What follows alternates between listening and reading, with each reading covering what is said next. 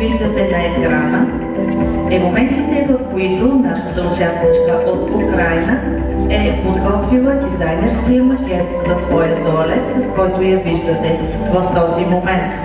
Тя е много талантлива художничка и много прецизна дизайнерка.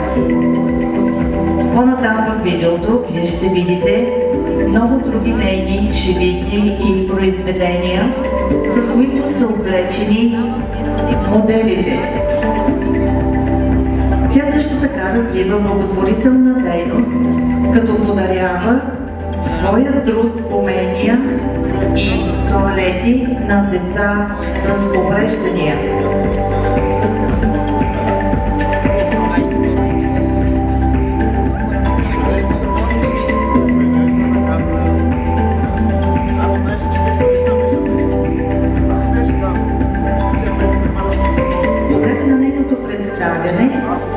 Вие ще видите и една малка изненада.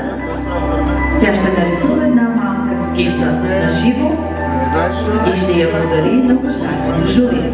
Ето това са моменти от нейната работа с деца с увреждания. Много широка благотворителна дейност провежда нашата участничка Мариана от Украина.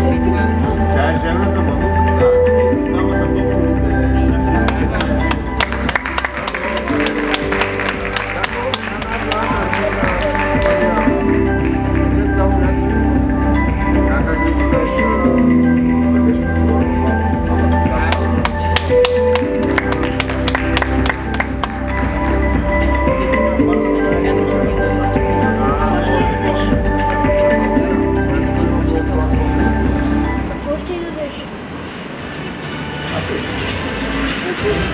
と待ってくれもう。